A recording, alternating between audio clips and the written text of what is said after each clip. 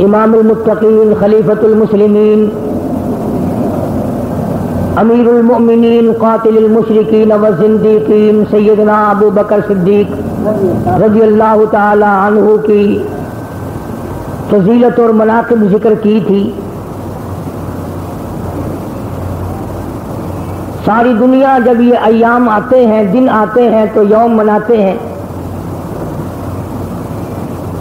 इक्कीस जमादियुल ऊला, चूँकि सैदना सिद्दीक अकबर का यौम वफात है।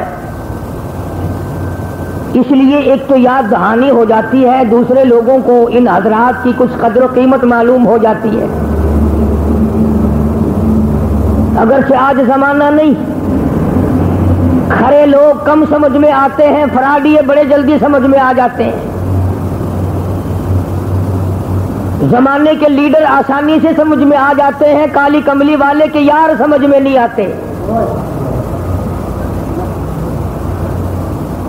सदर और गवर्नर, सियासतदान समझ में आ जाते हैं। मोहम्मद अरबी सल्लल्लाहु अलैहि वसल्लम के साथ होकर जिन्होंने एक अरसे तक मार खाई, फाके काटे, वो समझ में नहीं आते। कोई बात नहीं, तेरी समझ में ना आए तो ना आए। अल्लाह और उसके रसूल की समझ में आए हुए हैं। अगर खुदा उनको अपने बरगुजीदा बंदे ना बनाता तो उनको काली कमली वाले का सहाबी बनाते ही ना। हमारा तो ये भी यकीन है कि कोई सहाबी आदमी खुद सहाबी नहीं बनता।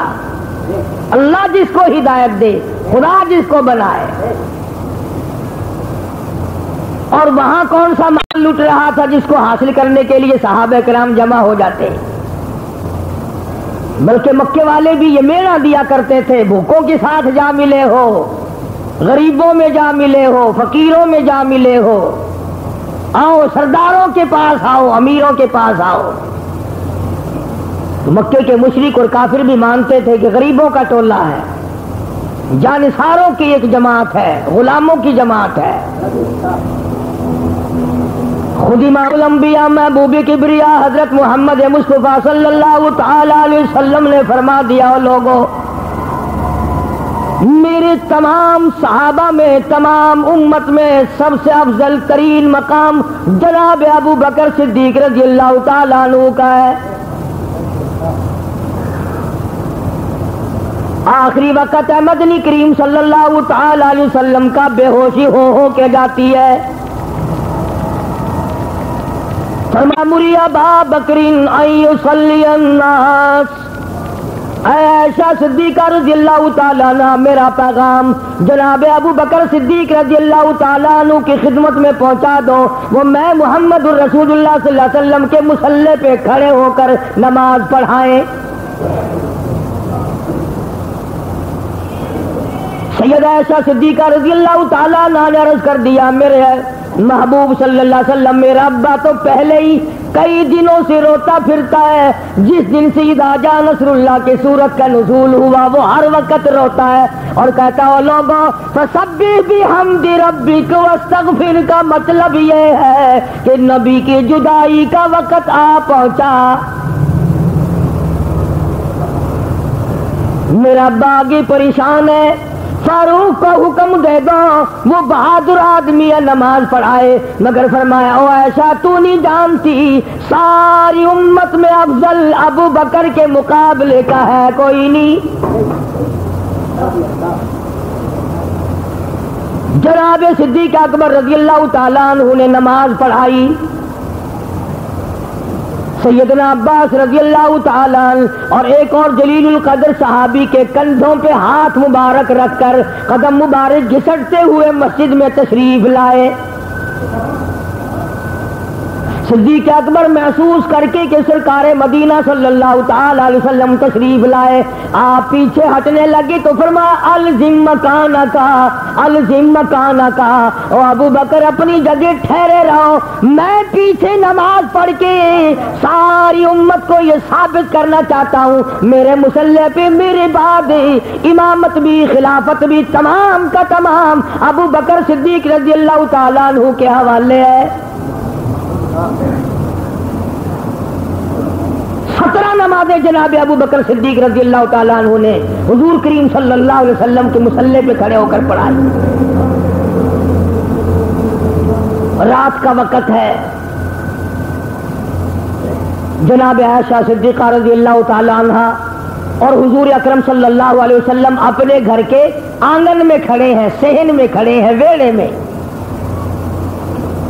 हज़रत ऐसा फरमाती है रज़ी अल्लाह तहा कि जनाब इमाम वसल्लम ने यूँ आसमान की तरफ़ चेहरा अनवर उठाया।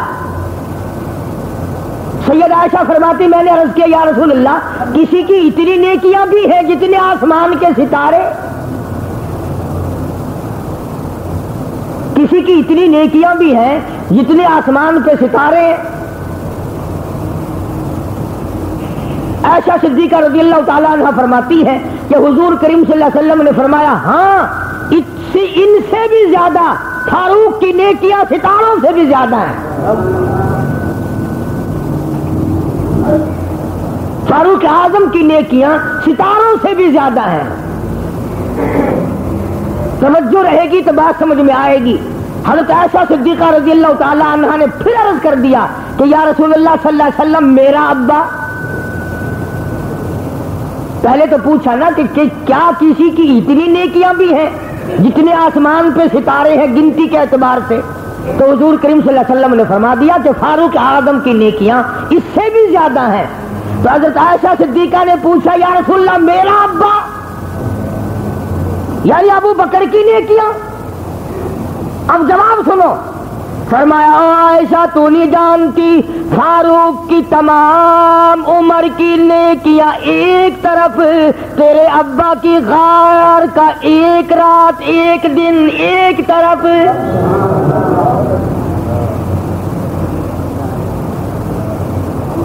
यानी क्या कहना तेरे अब्बा का? फारूक की सारी उम्र की, हर तरह की नेकी, हर तरह का अमल, हर तरह का अच्छा काम एक तरफ़ और अबू बकर सिद्दीक का गार में ले जाना गार में मेरे साथ रहना एक तरफ़।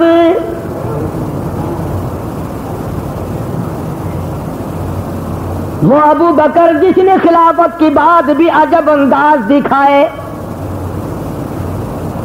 खलीफा बना दिए।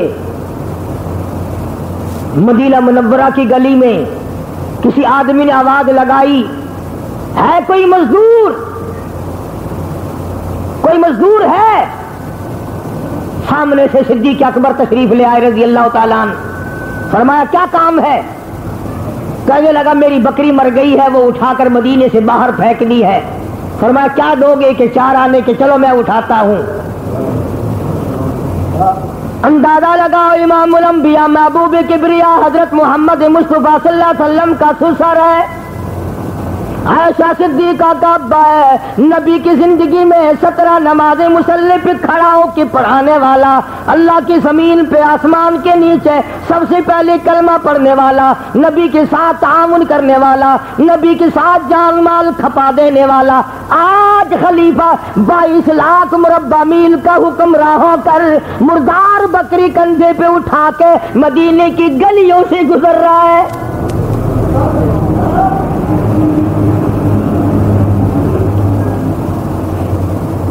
आज तो चार पैसे अगर आ जाएँ, घर के लिए एक किलो सब्ज़ी अगर ली है तो वो भी हमारे घर पहुँचा क्या हो भाई। यानी लोग लंगड़े हो गए, लुल्ले हो गए, मंडे हो गए, अपना काम करना भी छोड़ दिया। जनाब इमामुलम्बिया महबूब किबरिया हज़रत मोहम्मद मुस्तफ़ा सल्लल्लाहु अलैहि वसल्लम की सात अकदस सारी कायनात की सरदार है, मगर आप अपना जूता मुबारक भी खुद ही सी लिया करते थे।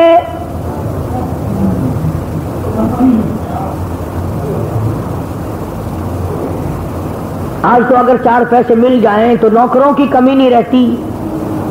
जो पानी छिड़कने वाला है, ये झाड़ू देने वाला है, ये कार की सफ़ाई करने वाला है, ये कार चलाने वाला है, ये यूँ करने वाला, ये यूँ करने वाला, बस। हम, हमारा मतलब ये नहीं कि तुम मजदूर ना रखो, लोगों की रोजी का ज़रिया ना बनो। तुम इसलिए थोड़े ही किसी मजदूर को रखते हो कि इसके बच्चे रोटी खाएँगे, दुआ देंगे, बल्कि अपनी सहनशाही जमाने के लिए रखते हो। अगर ये नीयत हो जाए तो फिर कार्य खैर बन जाए। अल्लाह ने मुझे दौलत दी है, मुझे कारखाना दिया, मुझे मिल दिया, मुझे फैक्ट्री दी। दस आदमी, चार आदमी काम करेंगे, उनके बच्चों को रोटी मिलेगी, अल्लाह पाक मेरा भी आखिर तुम भला कर देगा। तो इसलिए से कौन करता है? जनाब अबू बकर सिद्दीक रज़ी अल्लाह तला को रोक लिया गया। आप ऐसा क्यों करते हैं? फरमाया, मुझे अपने बच्चों के लिए रोटी तो लानी है, मजदूरी तो करनी है। अब मैं कारोबार कैसे करूँ? तुमने मेरे कंधों पे खिलाफत का वज़न रख दिया। अब मैं तजारत किया करता था, तजारत करूँ तो ये काम नहीं होता। कैसे मैं तुम्हारा काम चलाऊं? नबी के जानशीन को देखो। मुसलमानों का नबी के बाद सबसे पहला हुक्म रहा मुर्दार बकरी उठाकर मदीने की गली से बाहर फेंकने जा रहा साहब इकराम जलील कदर जो थे, वो इकट्ठे हुए। और इस बात पे गौर किया गया कि बैतुल माल से वजीफा मुकर करो ताकि इनकी गुजर औकात हो।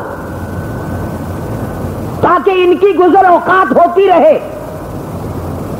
तो जब जनाब सिद्दीक अकबर रज़ी अल्लाह से पूछा गया कि आपका कितना वजीफा मुकर करें, फरमाया, मदीने में जो सबसे गरीब से गरीब का जो खर्चा हो, वो मेरा मुकर कर दो।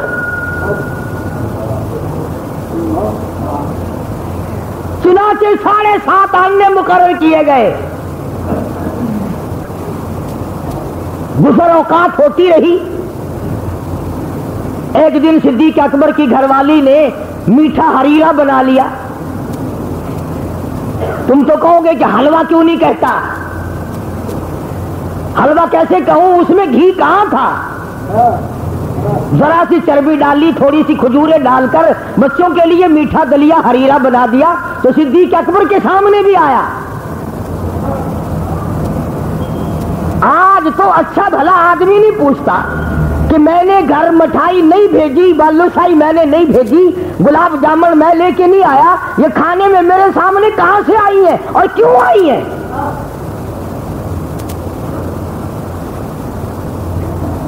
जनाब अबू बकर सिद्दीक रजील्ला ने फारन पूछा, घरवाले से ये मीठा हरीरा दलिया हलवा कैसे बनाया? हमें जो पैसे मिलते हैं, वो तो इतनी मुश्किल से है कि रोटी चटनी मुश्किल से बन सके। ये तुमने हलवा हरीरा कैसे बना लिया? वो कहने लगी, कई दिन मैंने आटा थोड़ा थोड़ा बचाया। दो दो चार चार चुटकी आटा बचा बचा के जोड़ लिया, जमा कर लिया। वो आटा बेच कर चर्बी खरीदी, खजूरी खरीदी, मीठा बना लिया। उसी वक्त बैतुल माल में लिख भेजा, मेरा इतना वजीफा कम कर दो, चूँकि इतने में गुजारा मेरी घरवाली कर सकती है।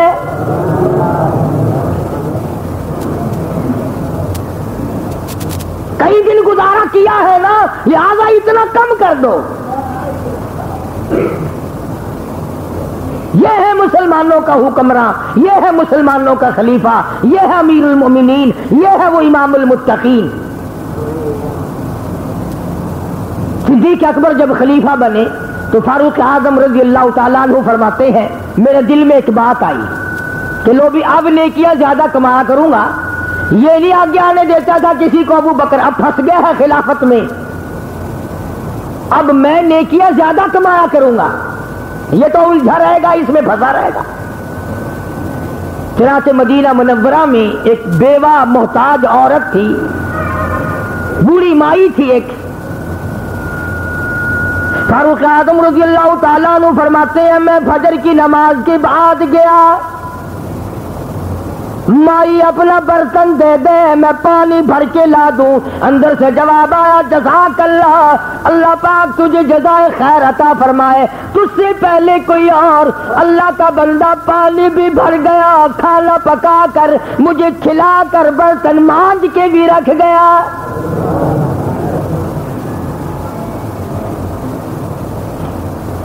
फारूक आज़म फरमाते हैं, मैं बड़ा सोचता रहा, कौन हो सकता है? इतना जल्दी आने वाला? फारूक आज़म फरमाते हैं कि अगले दिन में फजर की अजान के वक्त आया, नमाज़ से पहले आया। और बूढ़ी माई के दरवाजे पे खड़े होकर आवाज़ लगाई बरतल्ला मैं पानी भर के ला दो। आवाज़ आई जजा कल्ला, अल्लाह पाक तुझे जजाए खैर दे, इरादे का नेकी के बाद जो नीयत की अल्लाह तुझे इसका बदला दे। और याद रख तुझसे पहले कोई और सारा काम करके चला गया।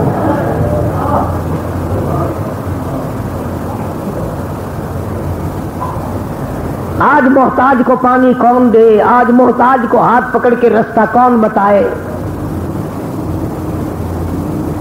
डंडे सोटे के हम सब मुरीद हैं। जिधर डंडा होगा, उधर थोड़े से झुकेंगे। जिधर हमें कुछ मामूली मामला नज़र आएगा, उस तरफ़ को जाने को तैयार ही नहीं। हालाँकि उस बेनियाज की बेनियाजी से हर वक्त डरना चाहिए कि ना जाने क्या इबादत अल्लाह के यहाँ मकबूल हो जाए। उलमा कराम ने लिखा है कि बनी इसराइल की एक बदकारा फायसा औरत गुजर रही है। कुआँ है, कुएँ के पास कुत्ता खड़ा है। प्यास की वजह से इतनी ज़ुबान कुत्ते की बाहर निकली हुई है। थी तो फायसा औरत, दिल में तरस आया। डोल नहीं, रस्सी नहीं, पानी कैसे पिलाए कुत्ते को? चुनाचे अपने पैर का मोजा उतारा। उसका डोल बनाया, अपने दुपट्टे की रस्सी बनाई, पानी निकाल कर कुत्ते के मुँह में डाल दिया। मौत आई, आवाज़ आई, अमल तेरा निकम्मा। करतूत तेरे भेड़े। किरदार तेरे सियार गलत। पर एक दिन तूने ऐसी नेकी की तूने मेरे कुत्ते पे तरस खाया जा मैंने तुझ पर रहम कर दिया।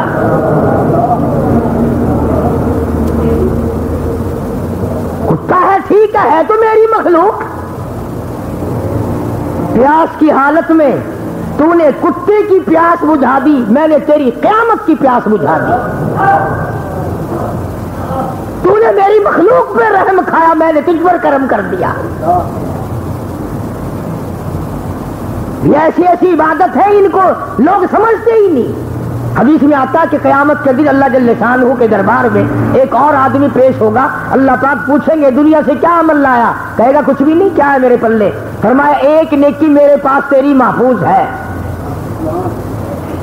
एक तेरी नेकी तेरा कार्य खैर मेरे पास महफूज और वो ये कि गली में से कांटा रोड़ा तूने इस नीयत से हटाया था कि अंधेरे में किसी मासूम बच्चे को, किसी बूढ़े को किसी को ठोकर ना लगे, किसी को तकलीफ़ ना पहुँच जाए। ओए, तूने मेरे बंदे को ठोकर से बचाया। या मैंने कयामत की ठोकर से तुझे बचा दिया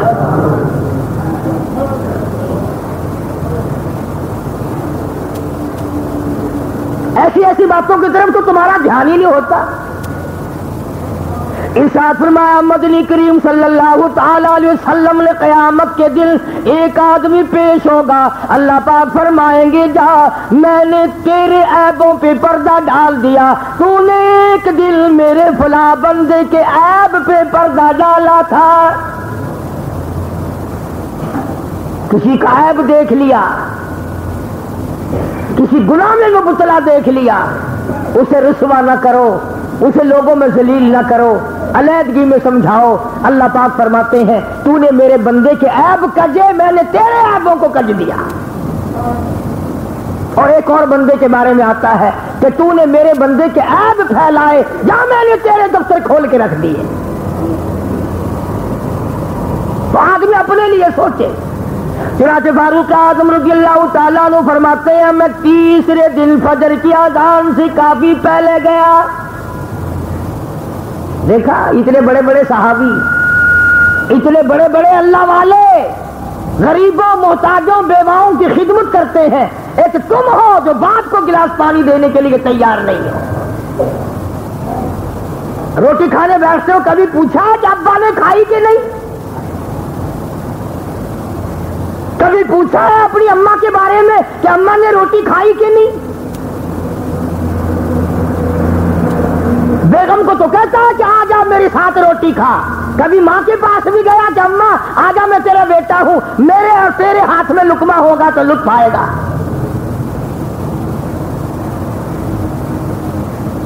जनाब अबू बकर सिद्दीक रज़ी अल्लाह तु जिस वक्त उस बुढ़िया के मकान पे गए, फारूक आदम फरमाते हैं, मैं दरवाजे पे बैठा हुआ था, एक आदमी आया, दोनों कांधों पे बड़े बड़े पानी के घड़े रख के लाया।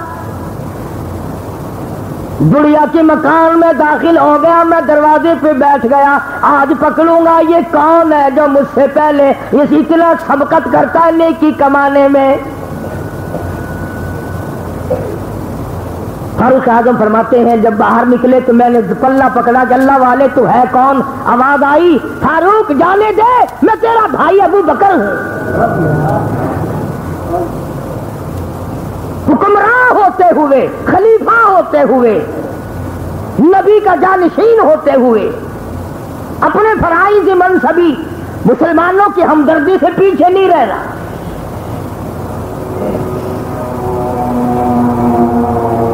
जनाब अबू बकर सिद्दीक रज़ी अल्लाह तु के पास एक गुलाम था, जो कमाई करके लाके दिया करता था। तो एक दिन वो कहीं से आ रहा था रास्ते में। यहूदियों की शादी थी। वहाँ से उसको खाना मिला तो जनाब सिद्दीक अकबर को लाके दे दिया।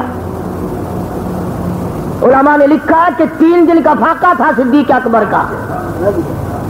और वो एक दो लुकमा खा लिया, पहले नहीं पूछा। मगर जब खा बैठे तो पूछा कि तू कहाँ से लाया था? यानी ये खाना किस तरह कमाया? आज हम पूछते हैं किसी से कि ये जो खत्म दिलवाने के लिए तुमने एक खाने के बजाय पचासी खाने बनाए हैं, ये कहाँ से लाए हो? चोरी करके लाए हो, ठगी मार के लाए हो? कर्ज निकलवा के लाए हो, यतीमों का माल हड़प करके लाए हो, लाए कहाँ से हो? सानू की? ਅਸੀਂ तो जुर्नू फेरन वाले है ना बिलडोजर फेरना जानते हैं ਅਸੀਂ ਭਾਵੇਂ ਤੁਸੀਂ ਯਤੀਮਾਂ ਦਾ ਲਿਆਓ ਮਿਸਕੀਨਾਂ ਦਾ ਲਿਆਓ ਗਰੀਬਾਂ ਦਾ ਲਿਆਓ ਕਬ ਕਰਜ਼ਾ ਕਢਾ ਕੇ ਲਿਆਓ ਸੂਦ ਦਾ ਕਮਾ ਕੇ ਲਿਆਓ ਲਿਆਓ ਸਹੀ कुरान कहता इन्नल्लदीन याकुलून अम्वालल यतामा जुल्मन इन्नमा याकुलून फी बुतूनिहिम नारा व सयस्लौन सईरा और लोगों, यतीमों का माल न खाया करो। ये चावल नज़र आते हैं, गोश्त नज़र आता है। खुदा कहता है, पर हकीकत में जहन्नुम के अंगारे हैं।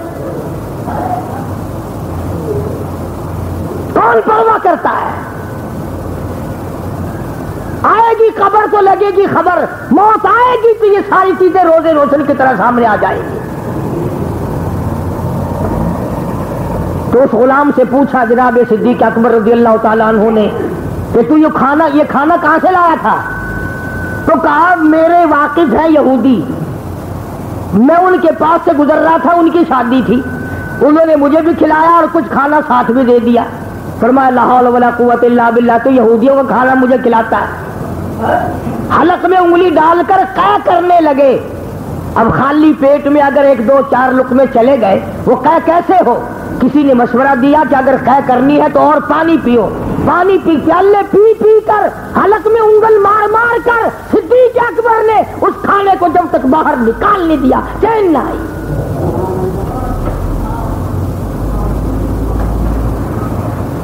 कभी हमें हमारे दिमाग में भी ये बात आई कि सूद का पैसा, सूद का खाना, रिश्वत का खाना, बस नाम बदल देते हैं।